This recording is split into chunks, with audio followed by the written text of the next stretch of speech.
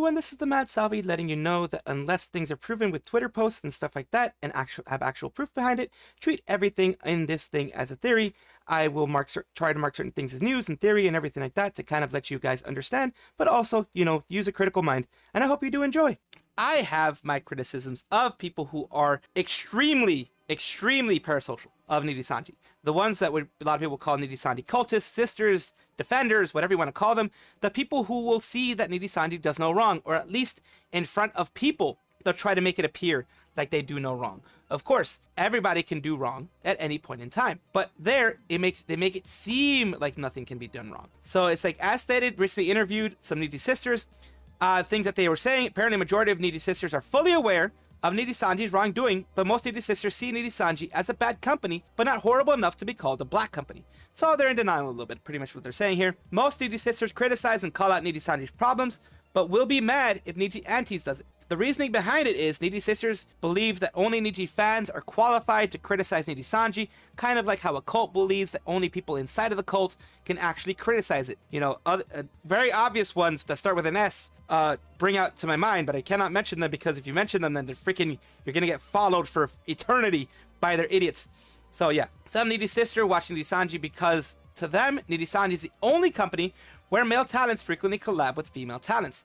Hololive kind of does it too, but they have their own Fujo and uh, unicorns, and these people have their own Fujos and unicorns where people are not happy when that happens. Most Niji Sister think that awaiting some Niji talents to graduate and go back to their PL is no different than asking Niji talents to go and, you know, pass away. Uh, they're also saying, while I mentioned John, the Jean Bonavir still frequently collabs with a Tenjin, uh, with a lot of female former Niji talents, but most of them replied to me was, sorry, I don't watch ID. That's the big problem. They don't watch anything outside of their bubble. That's not good.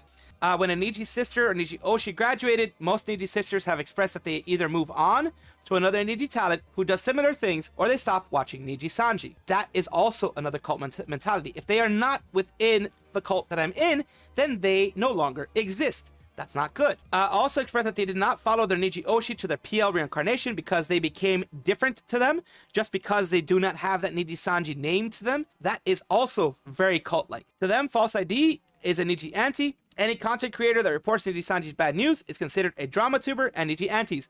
This is why I got doxxed by them. Yes, I'm not lying. I got doxxed by them. The myfco.org, whatever the F that thing was. I got doxxed, nuclear doxxed on that one. Uh, why they decided to dox me? I don't know. I'm just reporting things that I'm seeing here. I'm trying to be as objective as I can, you know, but I, I report what I see. If there's a lot of bad stuff, of course I'm going to report it. They hate Raziel for doxing Niji talent and pretty confidently believe that Raziel's proof are all fake and lies. Then they seem to agree that Raziel is only taking revenge on Luca out for personal issues. They don't buy the whole Luca uh, and Aster is, a, an S harasser. They believe them to be innocent, so that's what I got from them. It's very much a cult mentality, like I mentioned before. The fact that they can only show interest in a streamer only when they are Nijisanji simply means that they have the cultist affection toward the corpo. They also don't see the streamers livers as a person or an individual, just as a tentacle of hundreds of in the Niji octopus. Uh, it says Niji, Stan, Niji Sanji, particularly Niji Sanji EN, has turned away most of the people that fall into these groups. Fans that couldn't stomach overall business practices fans that care about the talents more than the company, or casual viewers that have heard through the grapevine about their bad management. If they would fix this management, I'm pretty sure things would get better. AJN also went as far out of the way to encourage parasocial fans, which they always have done, which more than uh, moral savvy companies know to dissuade for a laundry list of reasons. The insane people that are normally left to pee on the wind suddenly make up an unusually high percentage of their current fan base, and their voice ends up appearing to be magnified now that it isn't drowned out. So yeah, that's kind of, it confirms on my end the whole Niji cult thing, the Niji sister thing, that them being connecting their identity to the organization instead of to the livers. They don't appear to really enjoy the livers as long as they're not in Niji Sanji. Once they leave Niji Sanji, it's like they, they, they pass away. They're gone. They don't exist anymore. And that's scary. This is a question about uh, Kunai, hey rats, uh, can I can't do a Memby watch along stream today. We'll reschedule. Might do two watch alongs next month. Haven't been active. That's the whole membership thing of canceling the membership. Doesn't stream birthday. Doesn't stream Riku's merch. Cancels membership stream. Tells members to cancel membership. Follows Doki and Sayu on Twitter. Uh, do you really believe I will be back next month? She follows them on her PL, as is mentioned here. In her PL Twitter, yes. She even follows Hex's PL account. Uh, looking at her followers list, she's not following Doki or Sayu, but she's following them on her PL account, which is Sunny Explosion. According to her PL's follow list, she follows a lot of ex-Niji like Doki, Sayu, Mint, Michi, and Kuro. I did not spot Matara, but Twitter doesn't show the full list, and she follows about 800 accounts, so it's possible that she's in there somewhere. Also, seeing that she was active on her PL account last month, it is most likely she has some form of contact with them throughout it. And yeah, I mean, that's fine. Nothing wrong with having contact with ex Niji. Nothing wrong with uh, following them. Of course, since Niji Sanji does skin crawl, like the skin crawl, it does actually crawl the accounts of the Niji Sanji livers and can take control at any point in time. That is one of those moments where you can't actually uh, do that on your full account because they could suspend you. They could do all this nasty stuff. I don't think she gives an S. She knows Niji cannot, cannot terminate anyone anymore. I wish more livers were aware of this. Niji cannot afford to terminate anyone. They can hardly suspend anyone anymore. Of course, not without further damage to their already uh, tattered reputation. Anything bad they do is going to affect the stock price. Livers of EN are in control, and they should know that. Absolutely. And I hope they, they take that power back from that agency that isn't so great. Bit of a new thing in the VTuber sphere. We all know how uh, Hololive was going into Bilibili sphere using NOA talent or NOA talents to be their middleman, to be the person who is kind of like a old school multi-network uh, channel thing, the multi-channel network, the MCN, for China in order to prevent, you know, all this extra stuff that goes with going into Bilibili, you know, having to have a, a headquarters there, etc. So Mythic Talent is doing the thing as well. VTuber Sign and the Mythic Talent will be seen in the Chinese market through the agency strategy partnership with NOA Talent. So they're partnering with them. They're invading that partnership right now. It is uh, NOA's statement on True X Twitter is saying right here, today we're incredibly excited to announce a partnership with NOA Talent. NOA will be our designated partner going forward, so expand into the Chinese market and um, helping our talents continue reach their heights and wider audiences like never before. NOA Talent also did the same thing, saying that they're they're pleased to be a part with with Mythic Talent. Like I said, NOA is more of a middleman that you basically you work with them, and that allows you to work within China through Bilibili. Uh, this milestone collaboration for new chapter for NOA as we embark on our journey to bridge the gap between Western and Eastern markets like never before. Together with Mythic, we aim to redefine industry standards and un unlock unprecedented opportunities for their talents and our partners in the Chinese market. Uh, Hololive did it with Matsuri and Kobo so far. Also, I believe uh, Fubuki and Sora have some things in there too. Mythic's announcement on Twitter shares their objective in the partnership with NOA, our designated partner. NOA Talent CEO He Xiaotong uh, confirmed that VTuber news dropped that the uh, deal is mainly focuses on mythic VTuber talents, but they will expand to IRL streamers in the future. Based in Los Angeles, NOA Talent is overseas division of Chinese multi-channel network Medishin. NOA currently has 11 talents in the Chinese and English-speaking markets, three of whom are, are affiliates. NOA is currently preparing their booth presence in Bilibili World 2024, which is um, shown here. They're going to be having uh, Sadawe, Sens, Sayu is going to be part of it. Shy Lily and Filian are going to be featured under NOA Talents uh, in their Bilibili World website. So basically, they're all getting that organization there. It is all for the sake of not having to deal with like what happened with Hololive CN before, Hololive China, where they actually made a headquarters there and they had to deal with all the CCP stuff. So that is an easier way of them dealing with this. That is an easier way for them to go through this. So they aren't they don't have to actually go and be in China, have a presence in China. They just use this multi-channel network to go and affiliate with them, and then they can get into Bilibili easier that way. It's a smart move, honest. Now here we go with someone retracting the claims about NOA Talent. It kind of reminds me of how Mo Mokoko says, Noah! It's NOA Talent. Uh, and JP VTubers who joined them for access to Bilibili seem to be in good hands, and they saved Kursanji victims before. Uh, what they said about the CEO of the company, known as UEFI, is still true. UEFU He's a jerk. He despises VTuber watchers. He likes making hot takes about the industry and talking S. So that is normal. Um, no wonder talents flock to his company despite him being painted as public enemy number one because uh, he runs a good talent agency. They do good pay, ample resources, gets you out of trouble when you F up.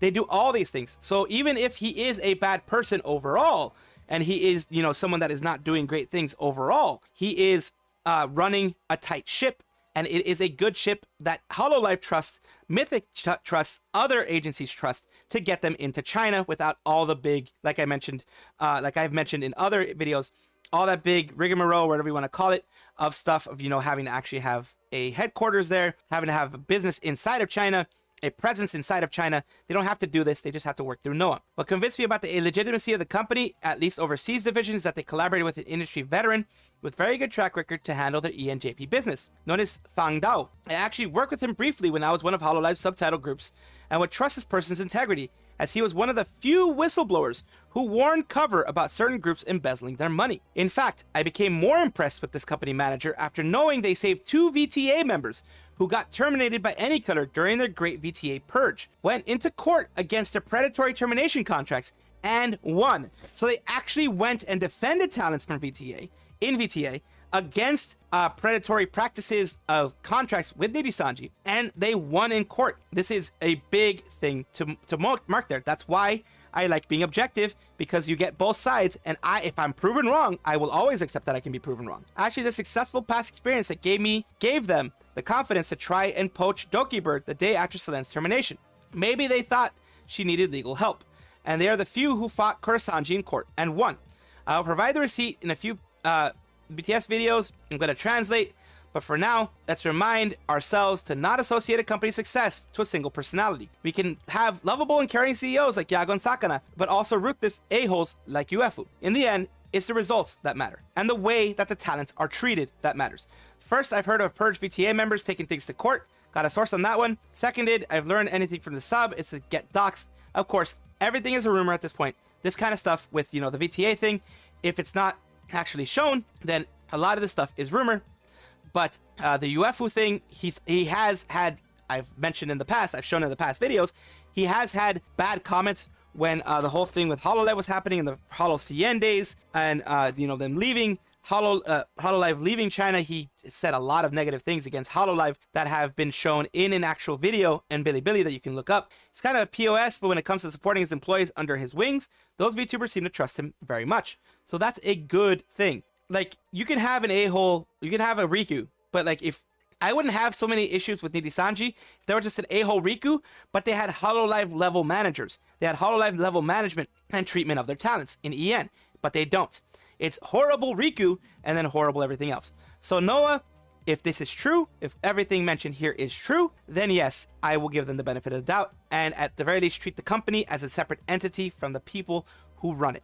As mentioned in other parts of videos and other videos, they went to Japan Expo recently, from what I remember, uh, and Fuwamoco did their rock and roll party, and look how full it was. Look how full it was. This was basically, you know, it wasn't like a 3D live or anything like that. It was their rock and roll party that they always do. It says, We'll never forget how warm you all were. Please call us back soon and we'll come running to protect your smile. Merci beaucoup. Uh, merci baka. Merci baka. Japan Expo, bow bow. And there you go. All the very, very happy ruffians there. Uh, EU ruffians going and being at Japan Expo, which is a humongous expo in Paris. France. So it's like, and a little source sauce from Fuwamoco right here. This is the one right here. And a lot of people are like, everyone looks so happy to be there. All proof of how many smiles you two are protecting. And yes, they protect a lot of smiles. Uh, you two are so cute. I'm happy you felt so warm and welcomed by the ruffians at Japan Expo. It looks like you enjoyed yourself lots. Keep up the amazing work. They're doing amazing things. I am so glad that Yagoo took a chance with the twins uh, because it's a chance to have twins in a large organization. Took a chance by having twins, by finding those diamonds in the rough and giving them their second wind, their second life. If you know the history of Fuwamoco, it is a sad history. Um, Gogo Nippon, just look up Gogo Nippon VTubers and you're gonna find it. And um, it was a sad history, but I'm very, very happy that the two twins can go and have such a good community, such a happy time now that they have a large company behind them, someone who will support them through and through, through through thickness and thin, uh, Yagoo always, always defends his his livers and always protects them as much as he can. So here's another look at them again. This is, uh, you know, the Rock and Roll Party, the, the other things here. It just looks very, very amazing. And I'm glad that they were able to see this happen because this is one of their dreams to have a large community like this. And I'm glad they were able to do it. I know some people get tired of cover news, but Cover Corp now recently released a new note on their value renewal, their value deck. Why that people judge cover because of the corporate Memphis style and not the content. People need to adopt the don't judge a book by its cover rule. Same vibes with people hating rich people because they're rich. The cynicism is exactly misplaced. A lot of companies virtual signal and state all their company mission beliefs by throwing up a flashy garbage on screen and media materials. So that's true. They do. released a new note today talking about their new values regarding the global expansion plans. They are as follows Proceed with your own hypothesis rather than thoughtlessly uh, doing as you're told. The creation of a new value only becomes evident when you think and act autonomously.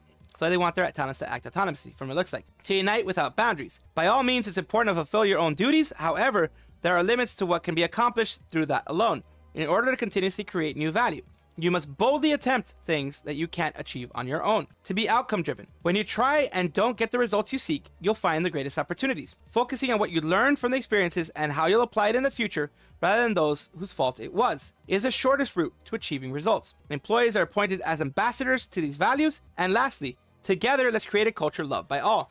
Based on what we have seen by cover so far, both their ups and downs, they seem to be sincere in this message, and so they will keep having my support. Basically, I will also support them until proven otherwise. If they prove that they are a bad company and they prove that they've been messing up too much, then that's when I will throw criticism at them as much as I can. Here is their corporate value renewal, their actual thing. It's been eight years since Cover Corporation was established. With the mission together, let's create culture loved by all. In mind, the employees have continued to take on new challenges as since uh, the day Cover Corporation got started. And here is the three new values, as I mentioned before. Bold spirited, this is all in Japanese. United without boundaries. There are limits where you can achieve by yourself, like the things I had mentioned. These are all the things I meant here. Outcome driven, that uh, I had uh, what I had written read before.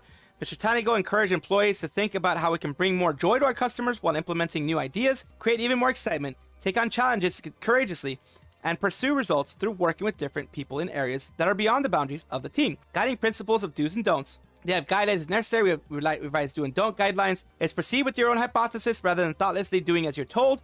Creation of new values becomes evident when you think and act autonomously. Like I mentioned before, all means it's important fulfill your own duties. Uh, when you try and get results you seek, the whole thing that I had mentioned before. Employees are appointed as, uh, you know, the uh, ambassadors to these values, as employees tend to be ambassadors to any values that the company puts out. Since we created these values, we want our employees to not only understand them at a surface value, but to experience and recognize them deeper. This work workshop allowed employees to interact while exchanging opinions about values. So they had a workshop for their employees, which is good. Before the workshop began, Tanigo appeared on stage once more in response to the host question, What changes do you expect at the new values? Tanigo responded, The new values will only be will not only be in Japanese, but also in English. Under the shared value, we want to create entertainment that is appreciated by fans all over the world, no matter where they come from. He also revealed that a US branch office is, is established. Uh, workshop began, employees chose between three values, bold spirited, united with boundaries, without boundaries, and outcome driven, and they discussed about it. So it was it was a big thing that they did, which is good. It's good to have employees on the same page, and it's good to have these values out there in public so that they can be held to task if they mess up and they they don't follow the same values that they're putting out. And that's what, you know, I think is a good thing. Come one and all, this is Sayu, and she's finally having a new summer outfit. She has had so many outfits pop up recently, you know, with her 8-bit outfit, her uh, and it's very expressive 8-bit outfit. And then her eeyore looking outfit you know the pretty cute uh, onesie type of thing. It's very cute. She's had a lot of cute outfits hop- happening recently and now she has another one which makes me very happy for her because she deserves to have this thing. And so do the the uh, synchronites. They do deserve that as well Sayu's new outfit summer edition on July 13th long ponytail hype this is not a drill cyberpunk n- Nermal is getting a ponytail let's go let's take a look at what's going on here and then see why people are reacting and being insane.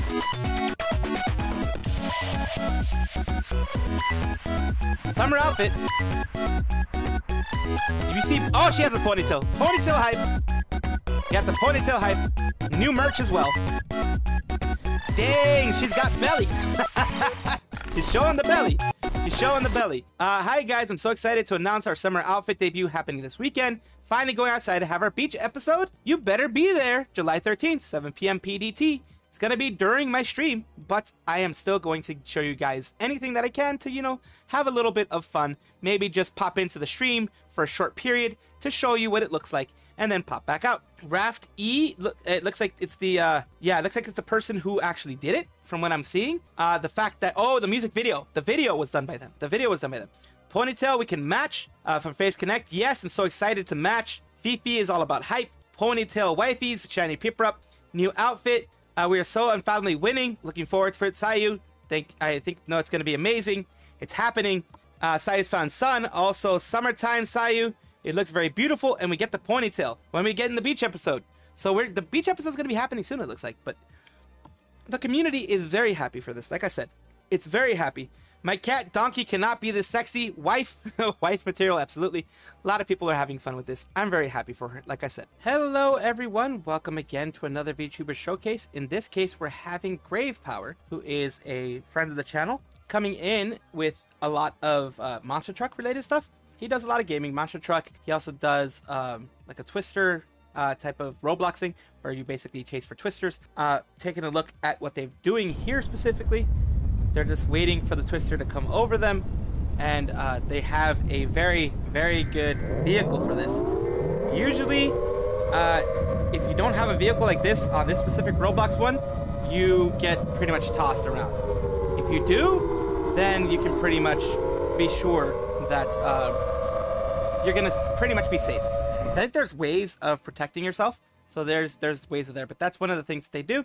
They're also on uh, on Twitch over here at GravePrower underscore VT. They have 27 followers, so I'm trying to help them out, trying to give them a little bit more visual, you know, visual uh, appearance to other people, trying to give them a little bit more out there that you know I wish I had when I was tiny. So kind of trying to help the community as much as I can. And here they are on their uh, YouTuber Twitter, the VTuber Twitter. They are you know just doing regular stuff, filling related things, uh, Monster Truck, uh, Maximum Madness, you know, all these type of things. Uh, he's mentioning that he is going to be looking go to go to VShojo. Hopefully it works out. If it doesn't, well then there's always next time you can try, and there's always things you can do to better your chances whenever you get to go there. Uh, maybe the things will fit very well for VShojo. We don't know until it happens. Thank you again, uh, GravePrower, for being a part of this VTuber showcase. Thank you so, so much, and I will be seeing each and every one of you next time. All for right now. Of course, comment, like, and subscribe down below. Thank you for being here. Of course, I love having the conversations with you guys. I love having these things with you guys, and I do appreciate it whenever you guys do comment. Take a look at my description for my socials. There's a Discord, there's Twitter, there's other places that you can check me out, Twitch, etc. And also check on your screen right now, because there might be a video that you might enjoy. Thank you.